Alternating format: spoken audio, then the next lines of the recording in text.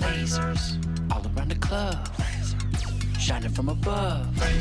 How'd they get so bright? Let's go inside a laser and show them what it's like. I'm an atom. I'm super, super small. We're the building blocks of the universe, y'all. When I feel the energy, I emit light in the form of a photon. Photon? Right. When it comes to lasers, imagine a dance hall. Atoms all around, mirrors on the wall. The energy is big, photons moving. Back and forth as they're dancing, grooving, bouncing off the mirrors, side to side. Move the same way, do the photon slide. Pass by an atom, now make a friend. Another photon, now they're joining in. Working together for a common goal. To shoot a bright light out a tiny hole. A focused light, it's a photon stream. It's a super duper super sweet laser beam. Photons, get in line. Now everybody step to the right. Spin around and make it all bright. You know how we make that light? Photons, get in line.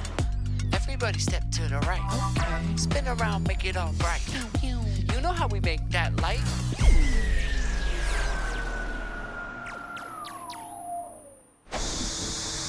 Hi, Storybots. How does a fan work? How does a fan work? It's quite an ingenious invention. A fan has blades shaped in a specific way so that when they move, they scoop up air and push it forward, creating a breeze. Observe. A fan does not cool the air itself, but when the breeze hits your skin, it causes your sweat to evaporate, and that cools you down. The faster the blades spin, the faster the air moves and the cooler you feel. Let's just turn that down a smidge, shall we? Oh dear! Ah! Well, it appears that the blades are moving faster instead of slower!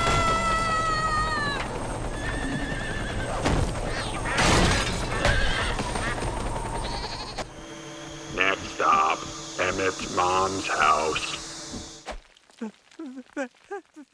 Emmett, dude, I am so sorry. I am totally gonna fix all these models, starting with this ship. Uh, at least I saved the Space Blower Upper 9000? They're all broken. This is amazing! Uh, come again?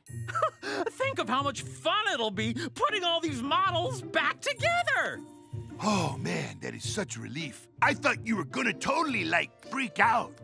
So, uh, while we're fixing stuff, do you think you could tell me how glue works for my buddy, Mr. Wonderful? well, you've come to the right place, Bang. I know all sorts of ways glue works. In fact, I can show you two main ways that glue works. The first is called mechanical locking. Mechanical locking, huh? How does that work? Just listen. When you use a gob of glue, just what exactly does it do to get things sticking?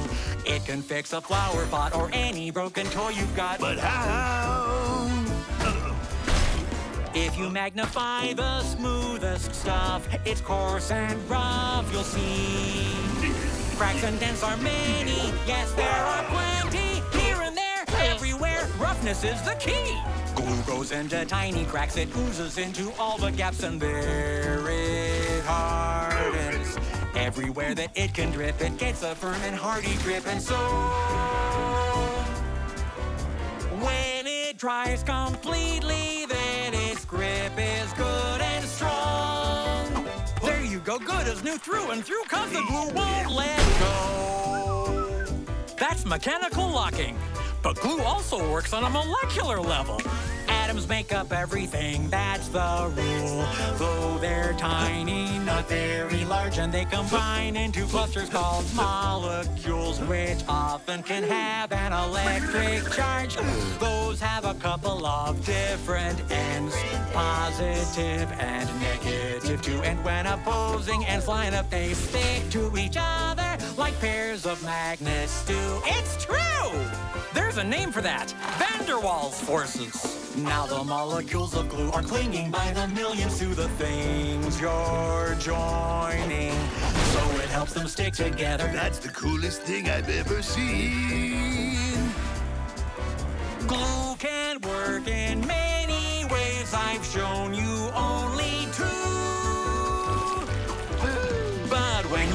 a model truck or fix a handle on a cup, just think of all the great things glue can do.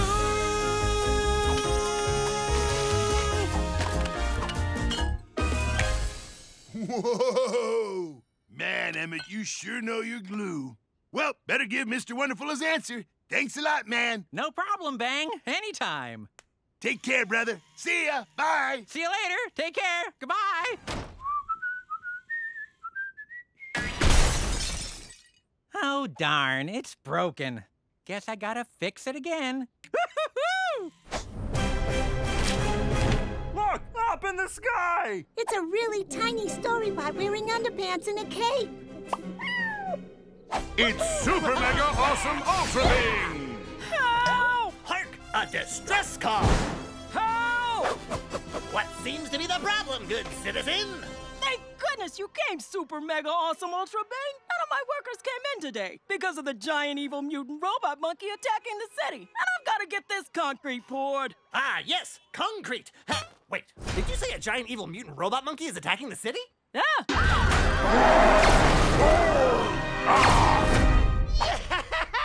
this looks like a job, boy! You gotta help me with this concrete. I don't know what to do without you. What, uh, giant evil robot monkey? Ah, okay. You know, concrete is an important material for making all kinds of structures, from houses to basketball courts. It's used more than any other building material in the world. Yeah, great, but uh, can we hurry things up? You know, giant evil robot monkey and all? Well, we need three things to make concrete water, Water, check. aggregate, Agro, what now? Aggregate. It's the sand, gravel, crushed rock, and other stuff we pour the water into. It's what gives concrete its strength. Sand, gravel, crushed rock, check. Super duper! Now, the last thing we need is cement, which kind of works like glue to hold the aggregate in place. Cement, check. Now can I go save the city?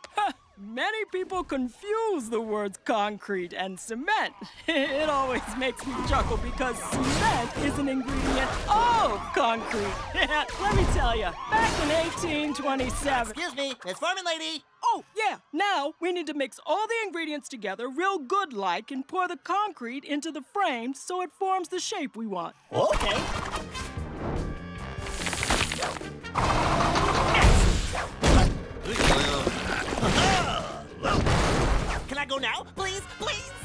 Absolutely, as soon as we make sure it hardens correctly. What? Well, how long does that take?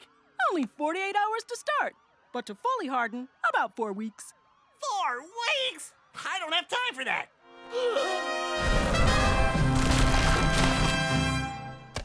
Oh, perfect. Nothing like a hard day's work. Gotta go. See ya. Bye. Never fear. Super Mega Awesome Ultra Bing is here. Clark defeated the giant monkey! Ah.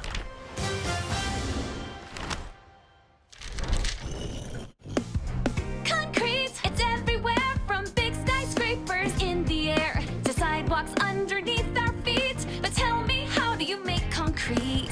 Now, concrete's not cement, but cement's an ingredient. It's crushed up limestone, sand, and clay, and even some shells. Yeah, it's made that way. And another ingredient is a thing that we call aggregate. It just means a bunch of loose rocks and stuff. Stones that are small but tough. You need some coarse aggregate like gravel or rocks to make concrete strong in walls and blocks. And you need a fine one too to fill the little gaps for you. Water turns the cement to goo that holds aggregate together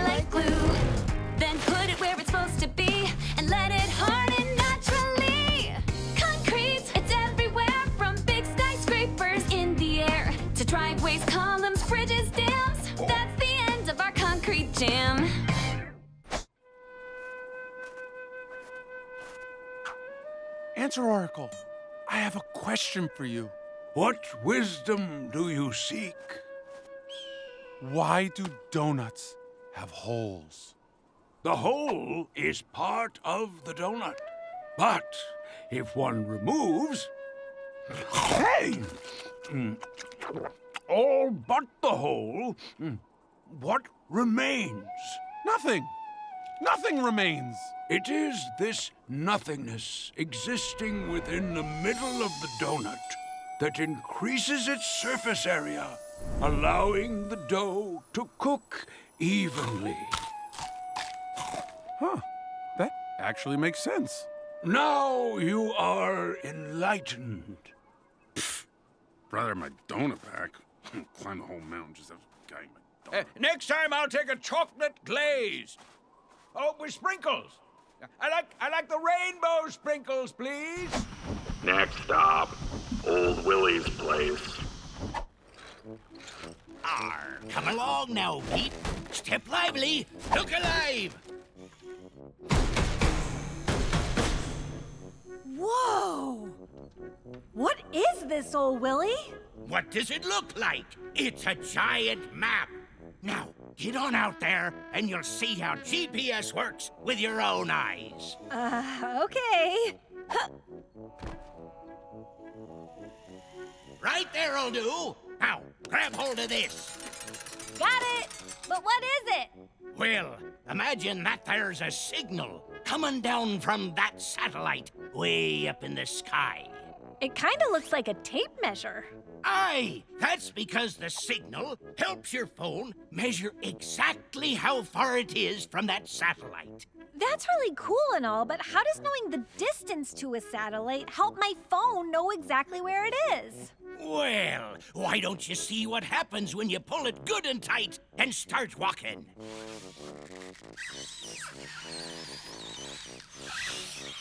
Whoa, look!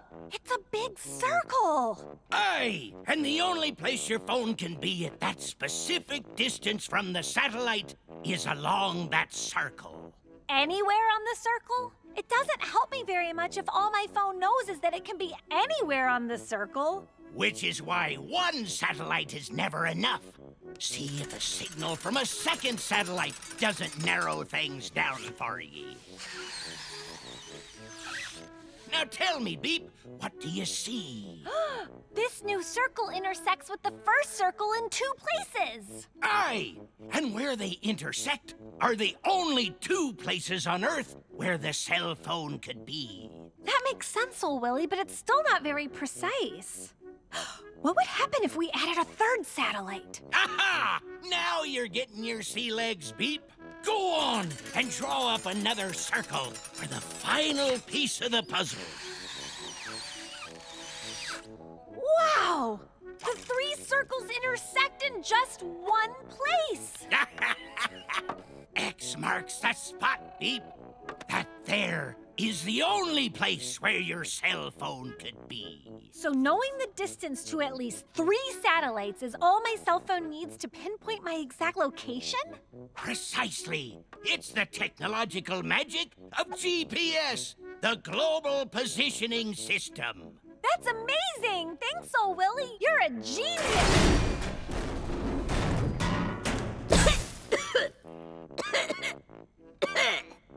Tubes are back in order. Well, thanks again, old Willie. Looks like it's time for me to go. Good luck, Beep. Swing on by any time.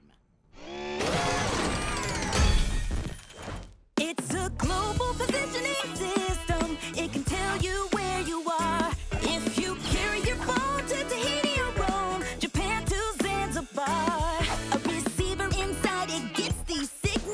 satellites orbiting round. And that receiver figures out distance based on signal satellites send on down. By comparing your distance from three or more, your phone finds just what you're looking for with a cool calculation called trilateration. It gets the information, your location.